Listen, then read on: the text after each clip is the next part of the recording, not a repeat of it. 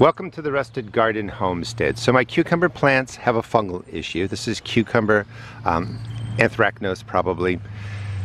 Fungal issues are typically classified as leaf spot diseases and you get these spots on there and it's brown rings within rings, concentric rings and when you have that yellow halo that's a fungal issue. Could be a leaf spot, could be anthracnose. They show up on all kinds of different plants, different um, strains affect different plants. However, this cucumber plant has a fungal issue and it's everywhere. And you can see that it probably started right over here, came up from the ground or whatever, worked its way up. I got behind in my prevention spraying. That's what I recommend most to really deal with these things. If you're spraying your antifungals early and ahead of time, they're going to look great. And the plants did well for a while. So what you want to do technically is to remove the damaged leaves, bag them up, throw them away, don't compost them. New growth should come out healthy and fine. So we're going to spray all this, get the fungal issues under control, and everything new that's coming out will be green and it'll be good to go. Lots of cucumbers in there too. So this plant is still producing.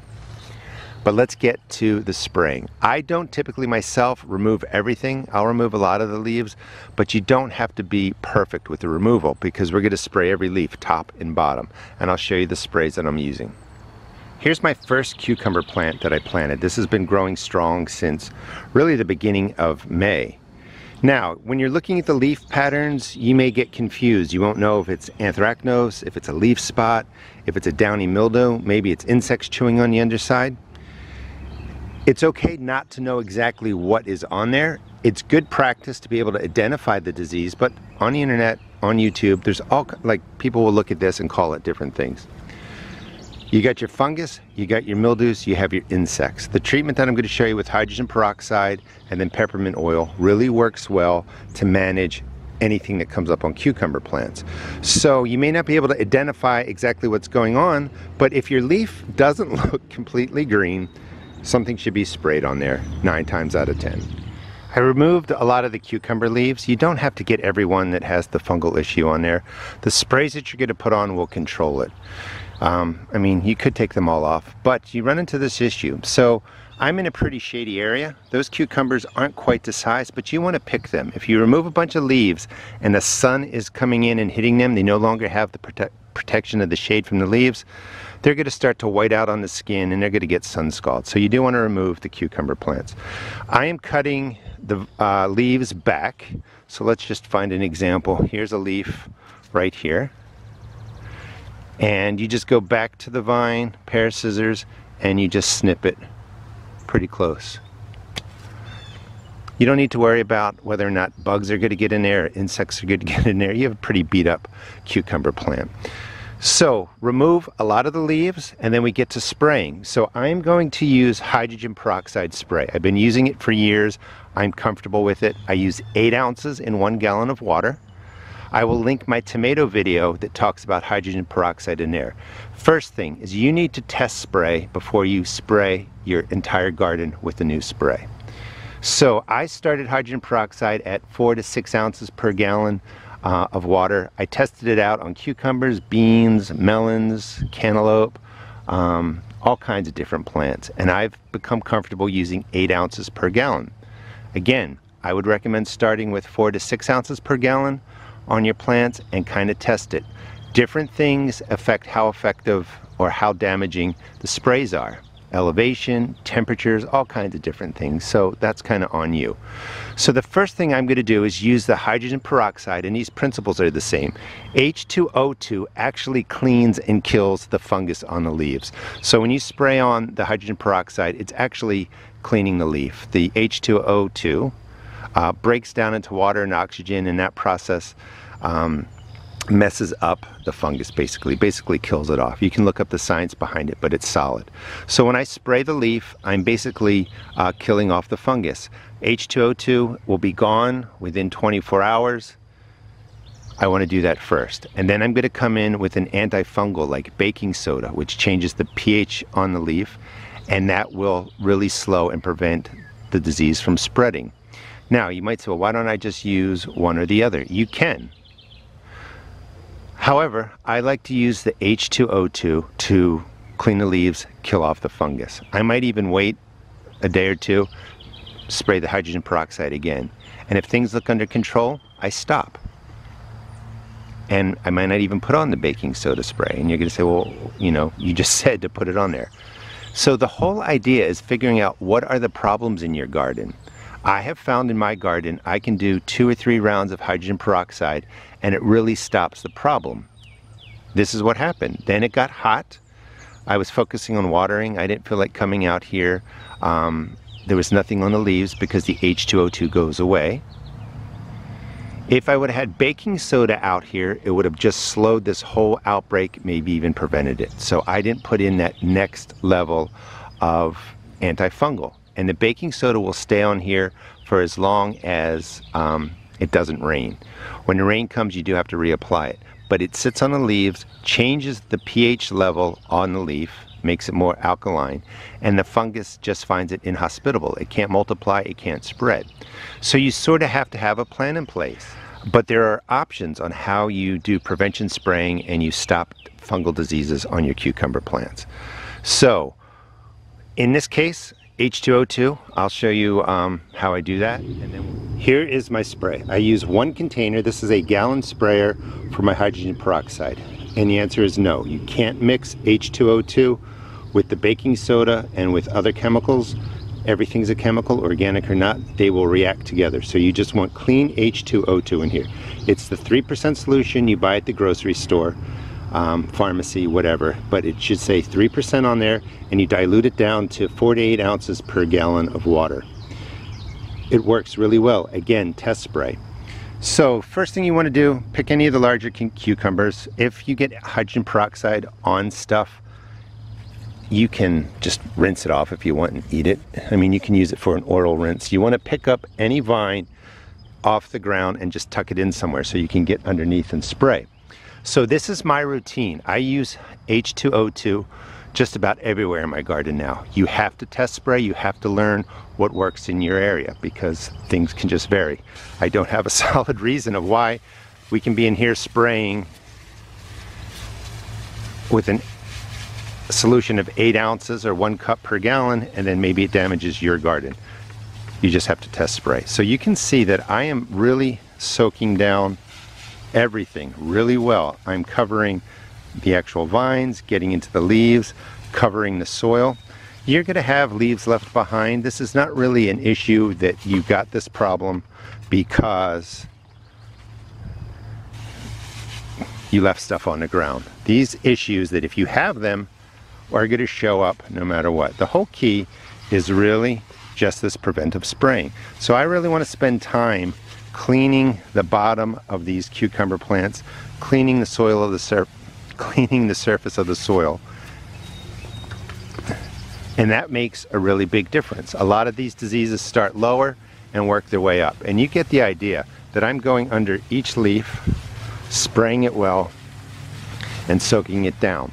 So here's my routine. Like I said, I use H2O2 on most of my plants. From this side, I'm really trying to get all the undersides of the leaves. So I may do this, you know, typically if I saw a couple of spots on here, I'm going to go to a cucumber at the end of the video that has these problems starting to show up. I'll talk a little bit more about this. I will walk through my garden. If I see my tomato plant has some spotting, I'll hit it with the H2O2. That usually keeps things under control. I don't have to go to the antifungals if I don't want to, like baking soda. Even in saying that, it's confusing. So I want to just say this again. H2O2 contacts, kills, goes away. Your other antifungals like baking soda stays on the leaf and it makes it inhospitable. And you can choose e either strategy or a combination of both. In some areas, you may be able to just put down a baking soda spray top and bottom every 10 days, 14 days, and it works really well. In other places, it's just more humid, more rainy, more hot. The baking soda spray is always getting washed off. You don't want to be putting it on there all the time. The H2O2 really cleans the leaves even before you may even see the spotting. So you may want to do the H2O2 more often and forego the baking soda spray. Or maybe you're in a place where you hit it with the H2O2, get it under control, and then you can still spray with the baking soda spray and it's not that much work.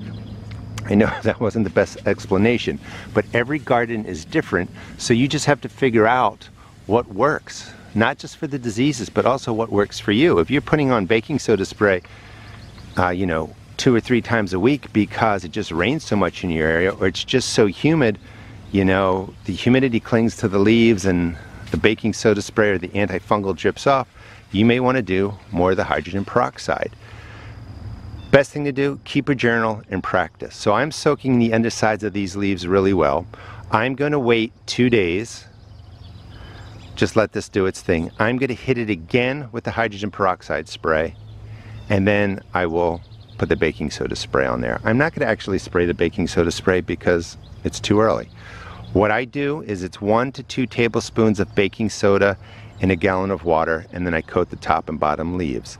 You want to spray in the morning. It's 7.15 a.m. right now. You don't want to be spraying, you know, in the afternoon when it's 90 some degrees, the leaves are wilting. They're a little bit weaker then.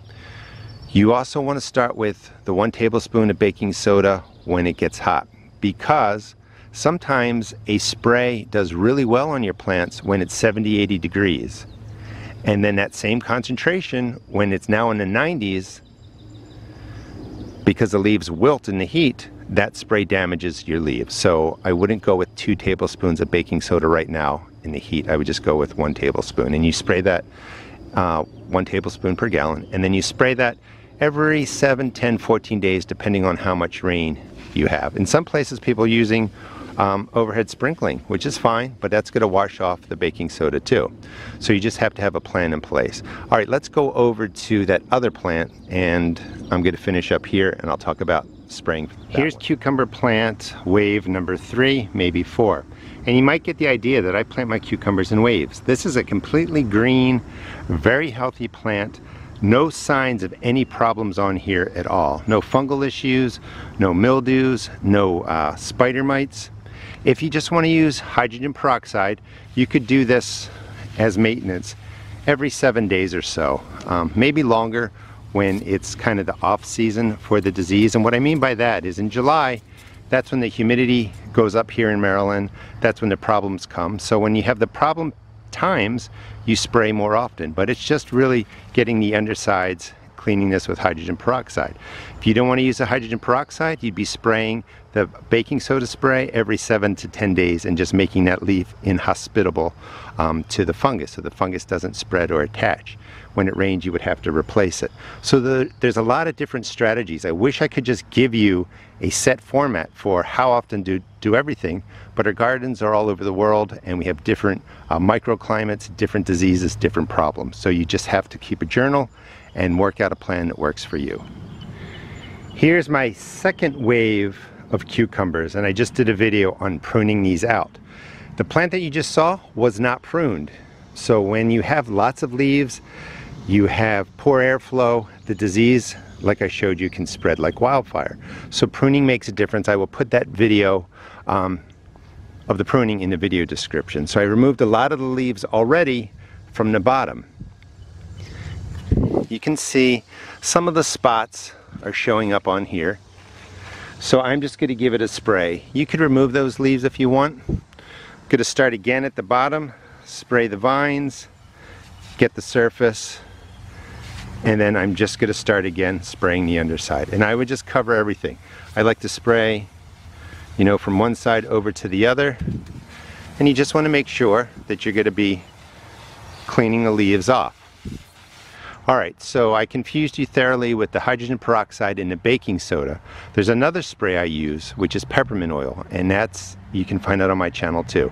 But it's one to two teaspoons in a gallon of water with one tablespoon of the Castile type soaps, which are the safest soaps. If you're going to use a detergent soap, you want to use one or two teaspoons. And you put soap in there so that the oil disperses through the water. So after a day or two goes by at the hydrogen peroxide, because my plants get spider mites on the undersides, I have found that the peppermint oil really manages spider mites and that's a problem I get every year. I don't think they're on here right now because I've been using the peppermint oil spray more so than the H2O2. But I'm going to hit them again day or two with the peppermint oil spray and that's really to spray on the undersides of the leaves. And you can find all those recipes on my YouTube channel.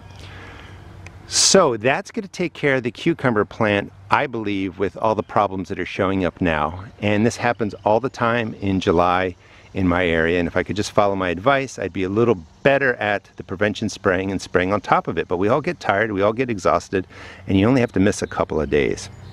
So finally, after say we do all the spraying of the hydrogen peroxide, You've removed a lot of leaves. Give your plant a gallon of water-soluble fertilizer. I use fish emulsion or AgroThrive. Just spread out all around the base. They're going to enjoy that extra nitrogen to create new leaves for you um, once that disease is under control. So that extra nitrogen really helps out when you have to strip off a lot of the leaves of the plants. Thanks for watching. Please check out my seed shop at therustedgarden.com.